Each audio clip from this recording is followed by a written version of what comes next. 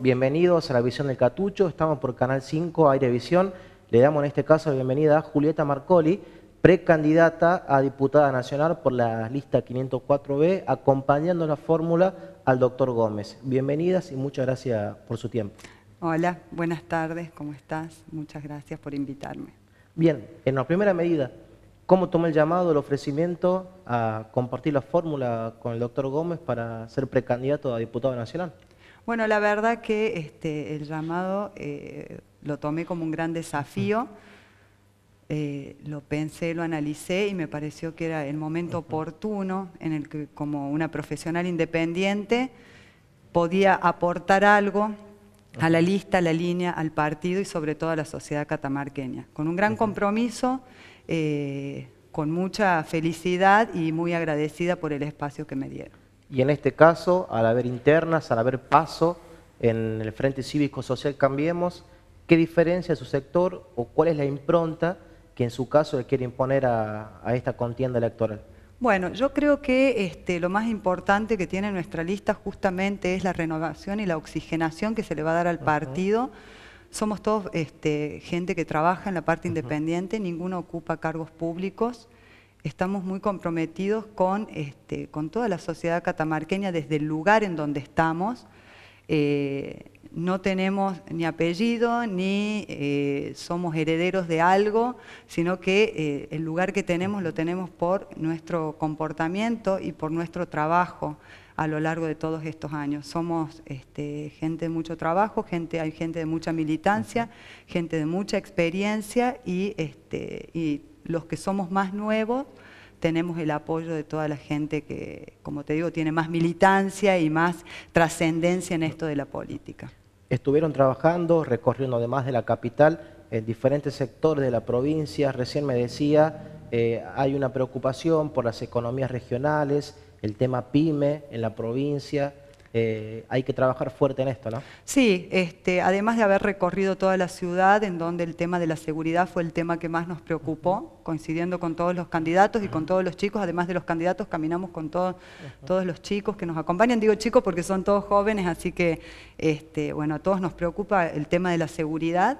Y en el interior de la provincia, estuvimos en Santa María, en Belén, el tema de los productores, el tema de atender a las economías regionales, el tema de cómo comercializar los productos productos, como nosotros a través de, en el caso mío particular y de Roberto, el doctor Gómez, cómo este, a nivel nacional podemos llevar esta preocupación, el tema de fomentar las leyes que haya con beneficios para pymes, el tema de que la provincia adhiera a estas leyes, eh, que los productores conozcan los canales por los cuales pueden comercializar, cuál es el costo menor para el valor agregado que puedan tener sus productos y que sean más fáciles de llevar no solamente a la región, sino a todo el país y por qué no hacer una exportación de esos productos. Catamarca es una provincia que tiene muchísimo potencial productivo.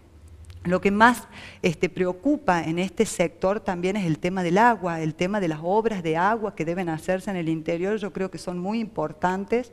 Nos estuvimos poniendo en contacto con, los proyectos que hay ya en Nación para ver cómo, podemos ayudar en esto, cómo podemos este, de alguna manera generar esas fuentes hídricas que necesita la provincia y también vamos a trabajar en eso.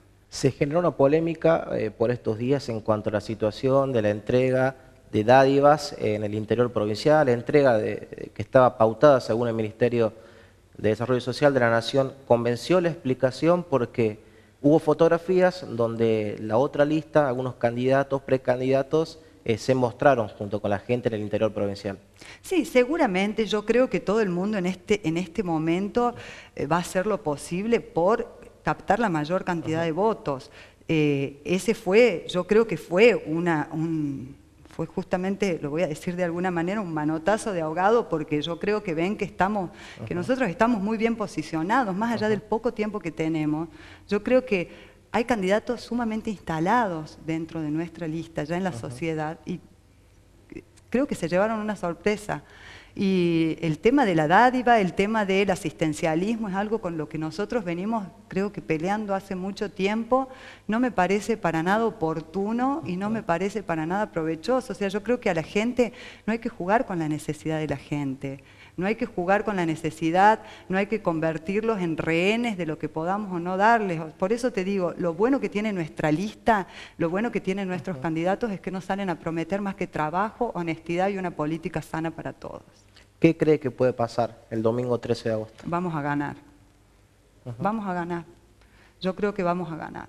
Estoy convencida, estamos trabajando para eso, tenemos muchas expectativas y la verdad que eh, cómo se vienen dando las cosas, cómo la gente nos recibe y cómo los números que estamos viendo, yo creo que vamos a ganar.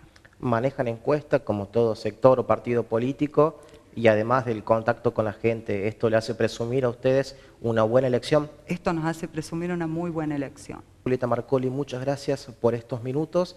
Están las cámaras prendidas y abiertas eh, para que usted pueda dirigirse a la sociedad y obviamente pedir el voto o el acompañamiento para las próximas elecciones PAS.